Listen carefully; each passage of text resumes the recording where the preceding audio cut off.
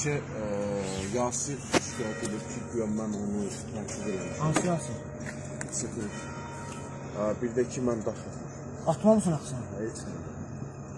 Okey. Okey. Okey. Hə, nə, nə, nə, nə, nə, nə.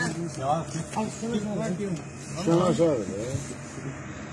Nə deyir? Bloger Azər Kazımzadə Almaniyada polis tərəfindən saxlanılıb. Bu barədə hüquq müdafiəçisi Əlifzət Əliyev məlumat verib. Stat.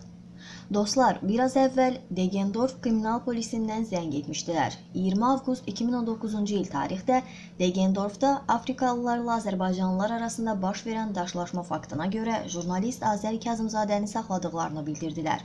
Bildiyiniz kimi, həmin tarixdə Almaniyanın Degendorf şəhərində qaçqınların məskunlaşdığı düşərgədə baş verən dalaşma faktına görə cinayət işi başlamış və dalaşmada iştirak edən 4 nəfər həmyerlimiz bu vaxta kimi həbs edilmişdi. Bu gün saxlanılan Azər Kazımzadə isə haqlı olaraq vəkilsiz ifadə verməkdən imtina etdiyini bildirib. Daha sonra Azər mənimlə danışdı. O, saxlanıldığı faktı təsdiq etdi. Hazırda cinayət hüququ üzrə ixtisaslaşan vəkillərlə danışıqlar aparıram və yaxın saatlarda ona vəkil tapmağa çalışacağam. Azər həmin hadisənin iştirakçısı deyil. Orada olsa da insanları sakitləşdirməyə çalışıb. Saxlanılmasına səbəb hadisə vaxtı orada olan Azərbaycanlı olmayan bir şəxsin ifadəsi əsasında saxlanılıb. Azər Kazımzadənin kollektiv olaraq müdafiəsinə qalxmalı və onun müdafiəsini kollektiv olaraq həyata keçirməliyik.